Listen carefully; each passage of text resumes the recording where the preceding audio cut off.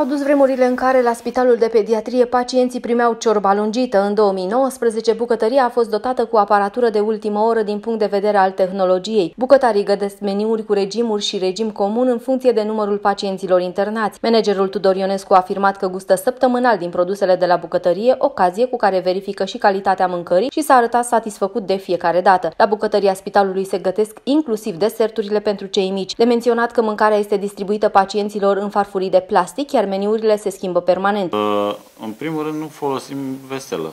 Toate sunt în... Uh, uh, toate sunt de unică folosință. Vă spun sincer, cel puțin săptămânal, eu și colegii mei, adică doamna directoare medicală și directoarea de îngrijiri, cerem, chiar cu poftă, să mâncăm un meniu luat aleatoriu. Din... Și vă spun că sunt foarte buni. Foarte buni. Inclusiv uh, dulciurile. Tudor Ionescu a și prezentat câteva meniuri de săptămâna viitoare. Meniurile sunt, uh, ca în orice spital, diferite uh, în funcție de patologia bolnavului, că este patologie chirurgicală, mănâncă un, un anumit fel. Regim comun 3-18 ani. Avem așa, luni, dimineața, lapte cu cacao, pâine albă, unt, gem. Prânz, ciorbă țărănească de legume la grec, paste cu carne de vită, gustare, cornuri cu gem, seara, ghivești de legume.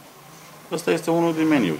Joi, cacao cu lapte, pâine, nu știu ce, supă de pui cu tăieței, musacat de cartofi cu carne de vită, fursecuri de casă, seara mâncare de fasole. Vineri, ciorbă de roșii cu orez, friptură de porc cu cartofi sărănești, gustare negresă, seara mâncare de masă. Deci, un meniu extraordinar de bun. Plus de asta avem, la cerere, meniu de post, meniu islamic, meniu mozaic. Nu există supa lungă și cana de ceai. Nu există, vă spun.